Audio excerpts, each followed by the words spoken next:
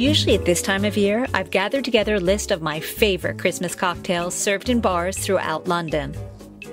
Hopping from bar to bar to try their cinnamony, gingery, gingerbready concoctions is always my late November treat.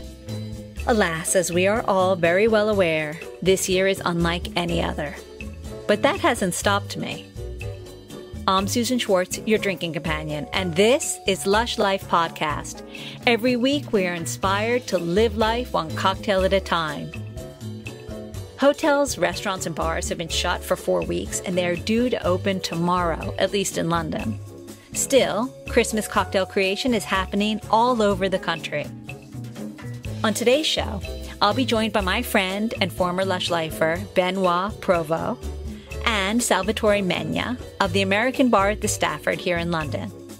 And also Jonny Stuchberry and Harry Morris from the bar at Northcote up in Lancashire, as they reveal what Christmas flavors they are drawn to, what's on their cocktail menu this year, and their top tips for the home bartender. Also, check out my favorite Christmas spirits, cocktail books, and gifts for this year at a lushlifemanual.com. Hang on till the end to discover what American whiskey I found when I opened the first door of my boozy advent calendar. Okay, we're starting off at the Stafford. Well, it's so nice to have you both with me today. Could you just introduce yourself and tell everyone where you're from and what you do? My name is, is Benoit. I mean, we've had a chance to to speak before Suzanne, so we've known each other for quite some time. I'm actually the director of the American Bar at the Stafford Hotel and uh, been involved with the bar for 27 years. This is Salvatore, my um, head barman. Hello, my name is Salvatore. I'm from Italy. I'm working in this family for at least three years. Mm-hmm. I'm really, really proud for what we're doing and how we serve our guests. So I'm the head bartender of the American Bar. Can you tell me a little bit about this famous American bar of which you speak? So for, for the one who never had a chance to visit uh, to visit the bar, we're quite unusual in the fact that uh, the bar is full of memorabilia. Basically, it's full of donations from our guests over more than 60 years. So you will find Burgess, American football helmet, ties, caps, and absolutely everything we've got, and lots of pictures as well from our from our patrons. Some famous, some not so famous, but uh, they're all part of the big family that the American Bar is. So We've got lots and lots of memories hanging on the ceilings and hanging on the walls of the bar. So, since you brought up memories and we're talking about Christmas here and holiday cocktails, do you have any special Christmas memories or things that you do every year, you know, in a normal year at the Stafford and at the American Bar? Well, our tradition is our famous mulled wine, which is which is cooked on a daily basis on the on top of the counter. I always say, even if uh, you're not especially fan of the um, of the mulled wine just to get the smell and all the fumes and all the spices just brings brings the christmas atmosphere and christmas spirits alive. And and every year people ask me when are you starting to do the mulled wine? I want to bring other because they brought their mom or they brought friends family and they, they ask when are you starting your your mulled wine? So it's become the the traditions. And we just want to keep the to keep the tradition alive and Salvatore, how long did you have to work there before he told you the secret recipe? To be honest with you, I really don't know yet exactly the recipe because Benoit is really, really keen on it. And he doesn't like to share a lot with me about the Muller wine. Everything's I got try, a price. I try. Everything's got a price, Salvatore. I know that. I know that uh, we are trying to, to we are trying to find a price for the secret. I love that. That's so funny. That's now, now you're both uh, Benoit. You're from France, and Salvatore. You're Italian. When you start thinking about Christmas cocktails, what flavors or what what things come to mind to you specifically that you know that you bring from your your heritage? To be honest with you, I think the Christmas flavor. Uh, I when I'm thinking about the Christmas, I'm always think about the cinnamon flavor, ginger, all the winter spices. So, as example, one of the drink we we're gonna introduce um, is made with um, the gingerbread, which I think is the really let's say the really example of Christmas as a flavor, all the winter spices you're gonna find inside. So, what do you think, Ben? That and and we've got another one. Obviously, champagne is uh, one of the one of the ingredients on a, on one of the three cocktails that we're gonna introduce to you because uh, festivities obviously champagne is always is always around so yes champagne and uh, and then spice i think you've got the essence of, of a good christmas drink to be honest you know, it kind of makes me giggle. Of course, the Frenchman would say a wine, and the Italian would say something to eat. Not that we're generalizing here, bread and a wine. so, what are the cocktails? Can you tell us? Yes, of course. I'm gonna start. There we go. With the first one, and I'm gonna give you the chance, Benoit, to introduce the second one. Are you okay with this? or you introduce you introduce the cocktail because you've been the, you, you've been working on the recipe i've been helping you with the names and uh, with you if you got any questions uh, please feel free to to stop us at any time Susanna. and i think in our bodies that one we always work together there is no star no nothing the atmosphere that is behind the bar and the bar is a, is something I, I didn't find in other place for this i'm really proud to work with with with this atmosphere with the band as well i'm really happy about that so the first cocktail we gonna we that I'm gonna introduce is called Candy Cane. And it's based on Plymouth gin with the floral notes given by the Saint Germain. I balance the flavor with the sweetness of Lillet Blanc. After we got the sassy cider rosé reduction with the prickly pear and pomelo to add some notes of the bitterness to the drink. To finish the drink, of course, we're gonna have the champagne the top up with the champagne. And uh, this cocktail is inspired, of course, in, for the Christmas time. So we decided to decorate the, the, the, glassware with the white and the red edible pint around the glassware. It's gonna make this really. Hence why we call it candy cane to remember of the of the candy cane. So it's it's very easy drinking cocktail, kind of a bittersweet, very refreshing with the, with the champagne. So that's champagne you can drink uh, at any time, pray after dinner or anytime during the day, to be honest. Now, tell me about the gingerbread one. The gingerbread one, so is my favorite drink because I love this kind of flavor. So what we decide to use, we decide to do an old-fashioned style. So we had this kind of a special rum, the spicy rum named Bayou. So with three different kind of vanilla inside. So what do we did? We did we did the fat washing with the gingerbread.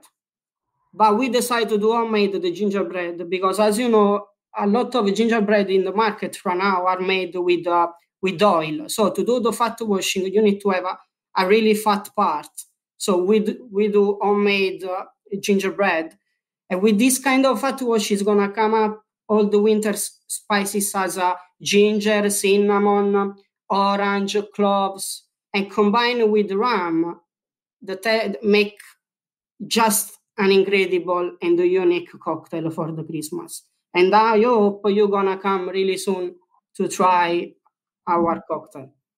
Oh gosh, that that last one just sounds so good, and I'm sure that there'll be some kind of delicious gingerbread, real gingerbread, to go with that. Because hopefully, hopefully, it will be it will be ready. So that one we named it the the Carolers Treat as I'm sure you're aware, that uh, in New Orleans, they've got this caroling in uh, Jackson Square where all the, the carolers are meeting with the, with the candles. So we call it the Carolers Treat. So when you finish singing all the Christmas carols, you can come and have a nice, a nice drink to, to warm you up.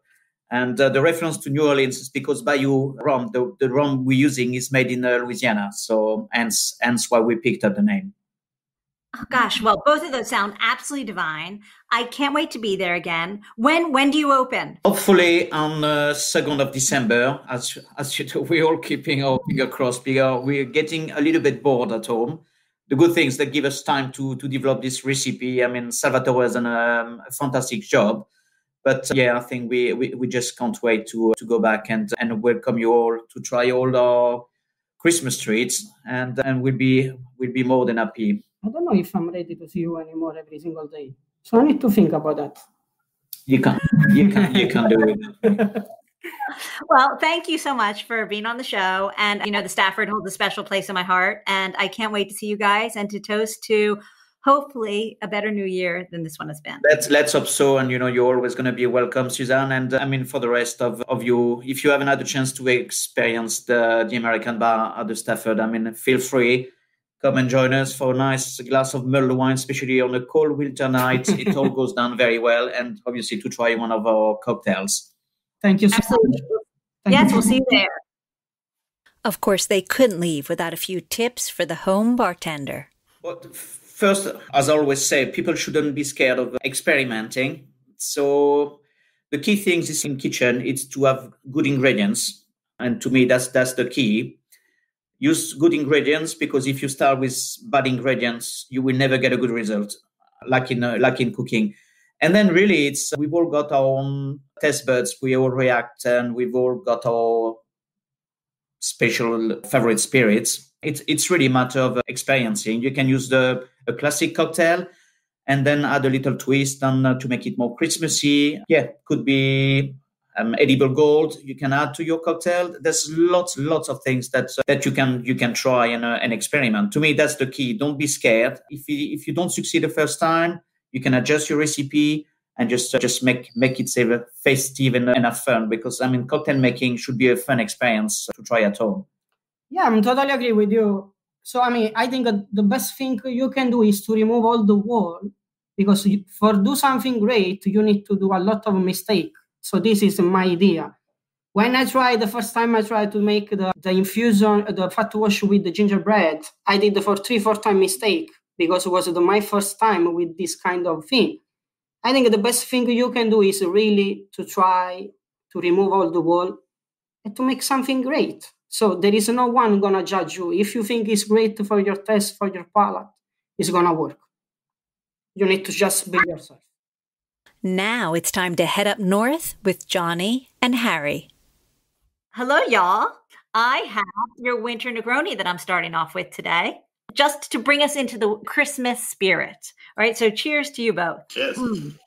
I want to hear all about both of you, Northcote and Christmas cocktails, because we're here to start off the season with some Christmas cocktails. So, Harry, Jonny, we have to have a little bit about your history. Who wants to go first? Why don't you introduce yourselves first?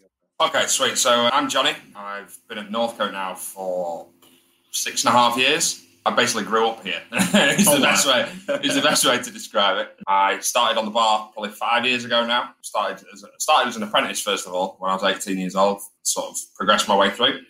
Uh, now, obviously, running the bar between myself and Harry. Spent many Christmases here and made many Christmas cocktails and many, many, many, many winter Negronis as well. Did you always want to be in the bar world or hospitality world? Is that why you got right into it? Well, I was I was originally at college when I was seventeen doing mechanical engineering, so it's a bit of a swap. But it was it just I was working part time in hospitality, and I just decided that I enjoyed it a lot more than I was enjoying college. So I uh, decided full time works for me, and uh, yeah, here we are now. All right, Harry. So my history is a little bit shorter here. I've been here for about uh, 18 months, give or take COVID, because we've been sat home for four months. Um, but yeah, my, my bartending history is, stretches back probably the, the same time, but I always I've always worked like part time. I, I started as a waiter, and then when I was old enough, got onto the bar.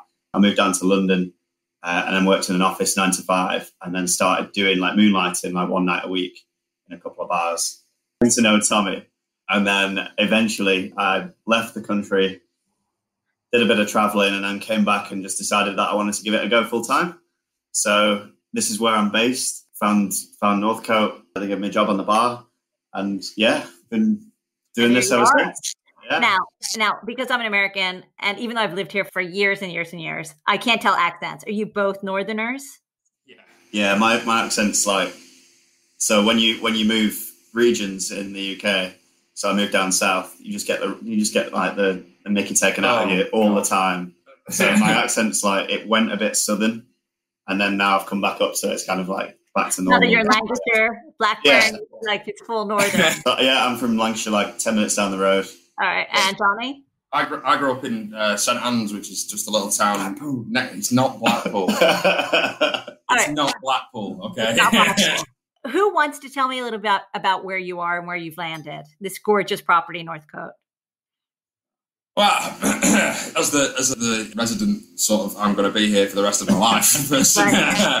I mean, it, it's a stunning place. We're sort of set. We're not too far out of the town centre of Blackburn, but we're just just far enough, if you will, into the uh, into the countryside. I mean, we're just looking out the window here. The the, the views are just absolutely unbelievable. Yeah, it's about ten miles. Literally, just clear trees and fields and happiness everywhere. it's the the place has come on come on a lot in sort of past years. It's developed a lot. There's uh, been quite a few changes. You know, when I started, they just finished an original refurb, which was, you know, rebuilding the restaurant. The room we're sat in right now was actually part of the car park. So it, a lot's changed and a lot's, you know, continuing to change with the time sort of thing. And it's really good to see. And it's getting cold now, so we've got the fires on yeah, and Christmas oh, menus out, and it's like it's nice. It's nice the best time, of the year. year. It it's nice. the best time of the year. You know, everyone's all nice and cozy and well, cozy with social distancing, of course, but cozy still, and it's just. It's just the best time of the year. You know? Okay, you guys are being very British here and very shy. it's one of the most beautiful properties in England. It has a Michelin star chef Oh yeah, know, that's yeah.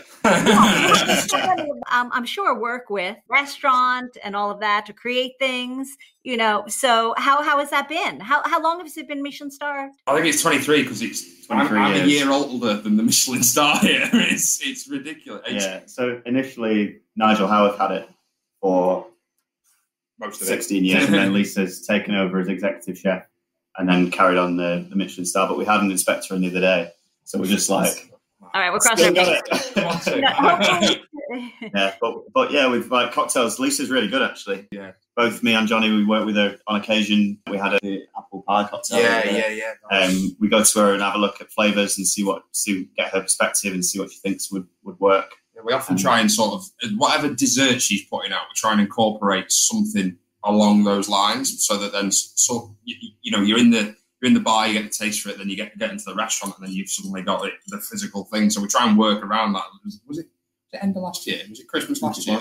Yeah. So we did like a we did like an apple crumble cocktail. So it was you know a bit different to like an apple pie that you might find in, in other bars, whatever. So we had you know we used the custard that the pastry chefs were using for for, for the dessert basically. We used that, that custard, made a foam from it, and it so oh. we basically just steal the work. just steal everyone else's and put it in a steal all the prep and put it in. you know, it's funny. I've interviewed bar staff in Michelin star restaurants or restaurants that never work with the uh, kitchen, and then some that always do. It just is. Oh, yeah. I have. A, I just think that it just makes sense because. Oh yeah, well, we're all playing with flavors. We're all making. Yeah, exactly. to make create those wonderful cocktails like yeah. that apple crumble one that I so want to taste right now. we're talking about Christmas this year and the cocktails that you're creating this year. And so, so when do you start thinking about it? How do you start? I want to hear everything. Okay, so I mean, for, for me personally, anyway, uh, when I'm thinking of Christmas cocktails, what I, I, try and use my memory for it in terms of when I was younger, what I used to think of for Christmas and stuff like that. And for me, the thing that comes straight away is my at my grandma's house. She always used to have Christmas potpourri, and it always used to smell of like cinnamon and spices and it, like ginger and all sorts. I just I can't forget this smell, if that makes sense. You know, you just it, and it always reminds me of Christmas. So I try and incorporate that into drinks. So uh, in a lot, as Harry will tell you, if I make a cocktail, it's probably got ginger in it. Everything has ginger. Everything's got ginger in it. So it's always Christmas cocktails at Northcote, yeah. no matter what time yeah, of year. Yeah, yeah, all year round. It's always ginger. all year round. got ginger, ginger ale, some form of ginger, and have like sort of Christmassy spices. So you've got like you know star anise, there's uh, cinnamon, cloves, nutmeg, stuff like that is going into a lot of the drinks just because like I said, grandma's potpourri. I just can't. And how about you, Harry? Yeah, I'm. I'm a kind of like I'm. I like trying to make things look a bit funky and a bit weird. Like last year, we uh, we didn't we didn't we didn't carry on with it, but there's an idea that I, had, I really wanted to make like a really a really thick foam on top of a, a red cocktail and make it look like a Santa hat. Oh, I love and that. I was I was shaking this this foam for about five minutes to get so... it to get it really like a meringue, and then I put it on, and we were like, yeah, that's really good, but if you have to make 50 of those in 10 minutes, you'll be there for hours. Right, three hours yeah. later, it's yeah. big enough to make a Santa hat. Yeah. It was great for the pictures. We got a blowtorch oh, and like, and like um, to watch the top of it. It looked great, but Yeah, not for, practical. So for a yeah, 60 corner practical. service is like. Yeah. So, how many Christmas cocktails do you, are you making for this new menu? We have we, we normally tend to go with like five or six on a seasonal menu. So we have we normally change Lisa changes the menu every ten weeks. So when the Christmas season comes in, we will we would change our our cocktails to match that to fit those ten weeks. So we'll look at what she's doing, figure out what the seasonal ingredients are, and then just try and build four or five. It doesn't really matter, but it's, if if we've got four solid ideas, then brilliant. If we've got six, then fantastic. exactly. So So it depends what we think of. yeah, we're just trying to we're, we're working it working seasonally in essence. You know, we're doing it very much in tune with what what she's got going on. Uh, Yeah. And is there one that's been super successful through the years that you know people come back and say, "I've got to have that one"? Yeah, so your Kings and Ginger. Yes, Absolutely yeah, yeah. So it, I mean, it's, it's going to be on our Christmas menu as well. It's got ginger in it, believe it or not. I heard that word, Ginger. It's gonna be a theme all the way. through. T- Tell me about the Kings and Country. Yeah, so the idea came to me a couple of years ago. I was awarded uh, Bartender of the Month by King's Ginger uh, for this cocktail. So uh, I was using sort of seasonal ingredients at the time and sort of thought we'd bring it back. Uh, so it's a combination of King's Ginger um, as well as marmalade vodka from Chase. There's some peach peach puree, a elderflower cordial, lemon juice, and then we just top it up with a little bit of Mediterranean tonic from Fever Tree. And it's, it's really, really good. it's it, it's a combination of like it's refreshing. It's got a little spicy note to it. It's got bitterness. It's got it's got all the layers basically. Not to blow my own trumpet, of course, but, uh, but, but it but it flies out. It really does fly out. And and what is so what is so that one's going to be on because of memories and ginger. And how about well, you have the ginger Negroni, which I've made. Why don't you uh, tell me about that one and uh, a few of the others? The you always have a champagne cocktail. Now there's a nutcracker. So Well, the, champ- well, the champagne cocktail is a is an absolute classic, and we'd get shot if we didn't put that on the Literally menu. hundred percent Um, shot. It's it's, Mis- it's Mis- so Mr. Bancroft, who is our managing director, it's his like family twist on the on the traditional recipe. So it's Cointreau, Cointreau brandy, Angostura bitters, and a sugar cube at, at the bottom. Swirl it all around, and then top it up with champagne and an orange twist on the top. It's And it is stunning. it is fantastic. It is absolutely stunning. yeah, Um, you know, unchanged for centuries. yeah. I wouldn't say he's that old. I hope he doesn't. you've also twisted your Negroni to make it winterized. Yeah, exactly. So the the vermouth that we use, we, we use Lustau vermouth because for, for us especially, uh, you know, a good Negroni starts with a good um, Yeah, So we use Lustau vermouth, which is incredible. We then infuse that with winter spices. So we take like a, a vat pack, like pretty big one, full bottle of vermouth, and infuse that with star anise, cinnamon, and a couple of cloves into a water bath for a couple of hours and it just brings out the best infusion. And you know, just your standard recipe after that, we, we go a little heavy on vermouth, but then just oh, um, just stick a cinnamon stick in the top, set fire to it. Bliss. I, lo- I love Bliss. the fire to it. Yeah. Oh yeah, yeah. Just because it gets gets your senses going, doesn't it? You know, ev- uh, uh, all your tastes start with all your different senses, and s- smell, sight. You know, your two biggest ones to get your palate going. So you can see that it's got cinnamon in it, and then you see cinnamon on fire, and then you smell it, and it Yeah, fire's an easy win on a bar. fire. Is, everyone wants People see fire. that like, Everyone, what is that thing? That's I want, fire? I want that. I have a feeling that's going to be your top tip for the home bartender, but we'll hold off on that. Set fire to Everything it. on fire. Everything. Fire Ginger and fire. And the Nutcracker, that's going to be on your menu as well, right? yeah, yeah. So I mean, Nutcracker. You know, it's it's a big thing at Christmas, isn't it? You know, the, the Nutcracker musicals and all sorts. Uh, but in essence, it's amaretto with apple juice, lemon, and a little bit of this panda pieces, which is ginger. which is like a, a lovely Christmas in a bottle. Yeah, it's like it basically is a, an alcoholic Christmas liqueur. It's brilliant, and it's yeah. So we, we use that with the with the amaretto, and it just a really light. It's still light and refreshing, but it's got all the sort of general flavors you expect from Christmas, and like a little bit of apple juice in there as well. And it's just it's just scrummy. And we have a we have a really good amaretto. We have It's a like really, really good velvety amaretto. and thick and sweet. It's- Yeah, it's, it's proper amaretto. It's seen an almond before, hasn't Yeah. These just sound divine. And I know you've given me recipes, uh, which I'll share, and we're going to try them. But it, what was interesting that you said is that, you know, your cocktails come out of memories. And this is going to be a hard Christmas for a lot of people. And we have to, you know, by sipping one of your cocktails, if that brings back a Christmas memory, you know, it's a gift in itself. Yeah, yeah, absolutely. And, you know, it's still going to create memories for people. Oh, yeah, absolutely. Absolutely paramount. Uh, but, uh, but yeah, no, it's people are going to create memories in different ways now, aren't they? Um, just, we've got to move with the times, all of us, haven't we? Mm. Yeah, I mean, we've we've switched up. Uh, like a lot has changed in the way that we work here. I mean, the, the masks are the least of it, but it, you know, we just keep we keep changing, and as long as we can stay open and carry on doing what we're doing, that's that's good for us. That's all. You know, that's and so far, you're, you're, going to be open and ready for business throughout Christmas and New Year. Yeah, yeah we are. We are. It, we're we're pretty lucky. Like the customers here are quite. There's a lot of loyalty associated with the place, and a lot of people have been coming for for decades. So people want to want to, especially at Christmas. Everyone loves it around Christmas, so we get all the regulars in. You see all the like it's nice. All the it's nice faces really, like it is. There's no, there's nice no way of describing it other, other than it's just really nice to see everybody. And I'm sure a little snow just makes it even more beautiful.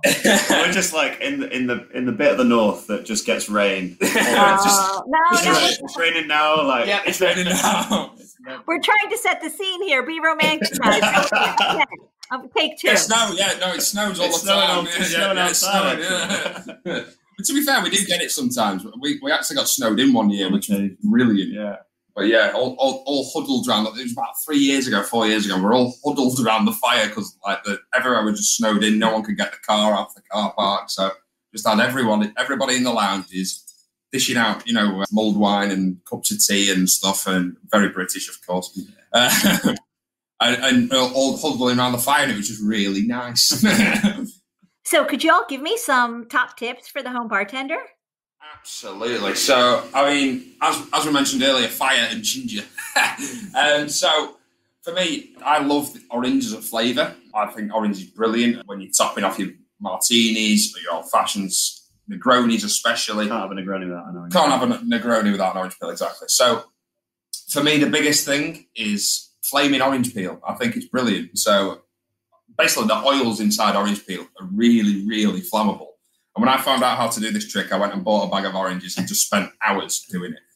That's not that's not a joke. so basically, if you take a lighter and hold it, just just almost touching the peel. So once you've you know you've you've cut a nice bit of peel, cut off all the pith from the inside, all the bitterness, and then just hold a lighter towards it. So when, when you've got your finished Negroni, finished old fashioned, you just hold hold the lighter to it. Give it about five to six seconds. You'll start to see it flicker, and then just squeeze the orange peel between your fingers. That'll spray out all the oils. That releases all the oils, and then it goes through the, the flame and just makes a big oof, a big sort of puff of uh, puff of fire, a little fireball, and it just looked brilliant. It might set your smoke alarm off, but it looked brilliant, and it just smells utterly incredible, yeah. especially at Christmas as well. I mean, you know, we, are making that many drinks on the bar that we're using that for that the entire bar smells of orange, and it's brilliant. Well, that's that'd be my number one tip there. I think for me, like when you're stuck at home, we were trying to do cocktails when we're when we're when we're back there, and it's like you find a recipe and you're like, oh, I've not got this, but don't worry, like just see what you've got and just use anything. You can mix and match, like for, oh, for like a like a cosmopolitan. If you've not got lemon juice, use lime juice. If you've not got Cointreau, use something else that's citrusy, even a bit of orange juice. Just just like dabble and try. Like there's there's nothing that you can't do. You just recreate flavors and you'll have fun doing it. And if you know, if you have a look in the back of your mum's cupboard or something like that, you'll probably find a bottle or something. Yeah. You know, everyone's, everyone's got a bottle of Cointreau. Everyone's got a bottle of Cointreau, and everyone's got a martini extra dry somewhere. Absolutely. Well, I want to thank you guys for being on the show and for being here with me and starting off the season right. We are going to create our own memories this year. And thank goodness we have a few of your cocktails to start it off with. So thanks so much. Thank you. Thanks so much to Benoit, Salvatore, Jonny, and Harry for including us in their Christmas celebrations. All of those cocktails sounded amazing so it was hard to pick just one for our cocktail of the week. In my opinion, peppermint sticks just scream Christmas is here. So our cocktail of the week had to be the candy cane. You'll need to make a sassy cider reduction before beginning, and it's good for about 10 candy cane cocktails. Just add 200 ml of sassy cider, 30 grams of sugar, one prickly pear, and one large slice of pomelo to a pot. Bring it to a boil and then simmer for about 20 minutes. And then add a splash of lime juice at the end. Leave the reduction to cool down before grabbing a cocktail shaker. Fill the shaker with ice and then add 35 ml of Plymouth gin, 10 ml of Lillet Blanc, 5 ml of Saint Germain liqueur, and 15 ml of that gorgeous sassy cider reduction you just made. Shake, shake, shake, and then strain into a flute glass. Top it up with champagne, and then toast to the season ahead. You'll find this recipe plus more holiday cocktails and all the cocktails of the week at alushlifemanual.com, where you'll find all the ingredients in our shop.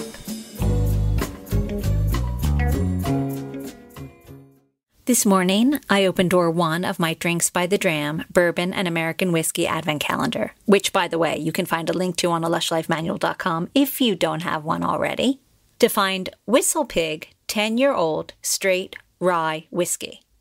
I Googled Whistle Pig and how crazy that it should be outside of Middlebury, Vermont, a place very dear to my heart. I spent a summer there learning to speak Italian and made a few of the best friends I have in my life. Now, Whistle Pig really means something to me.